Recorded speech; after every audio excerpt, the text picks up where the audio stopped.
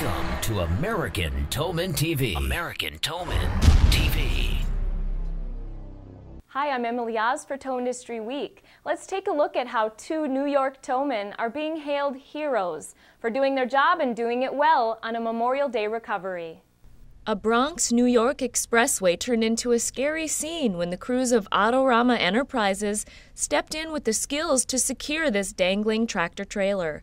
This crash on Memorial Day set into motion a chain of events that Phil Blumenthal, a veteran of towing, had never seen before.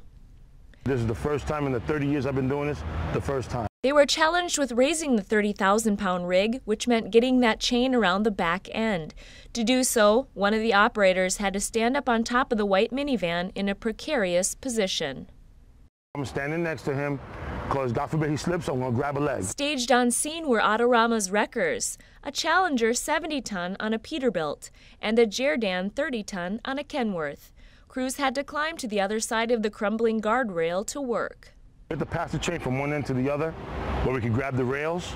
So we had to climb on that side of the wall. And he was a little bit scared also because you're not, human nature is not to hang over something. Hats off to the expert recovery done here by Autorama Enterprises, Bronx, New York. I love being in my truck. I love working on the road. Playing in traffic is what we do.